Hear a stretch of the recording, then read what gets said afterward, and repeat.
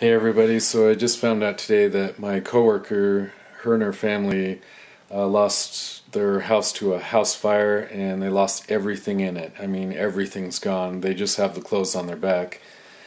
Um, so uh, they have a GoFundMe page. I'll show you that. It has a description uh, that you can read through. But uh, yeah, I'll just start by showing you. Um, so their last name's Smith.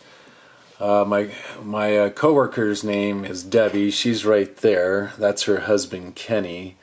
Now Kenny uh, has already uh, been battling colon cancer for a couple years, so he's he's been through hell. Um, you know, and uh, that's their daughter Ashley. She's supposed like in the descriptions going to be going back to college but uh, you know lost everything as well you know college students need laptops and clothes and all the essentials.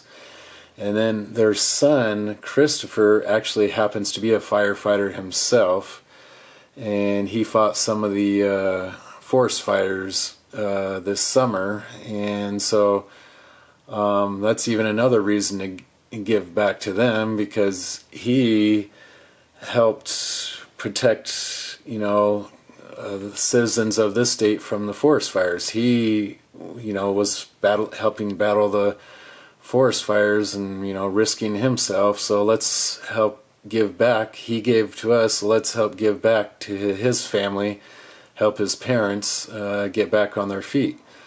Um, so again, that's my coworker Debbie, very nice, sweet lady. Um, I'm going to put the link to this GoFundMe page um, that you can uh, um, link up to, but it will just show you right here. There's a picture of the house on fire and the aftermath, and then you'll be able to read, you know, more about them in here. But um, yeah, that's uh, you know this this family's already been through a lot. Um, this is the last thing they needed, so let's let's help them out. Um, any of us that are fortunate enough to let's help give back to them. So uh, take care.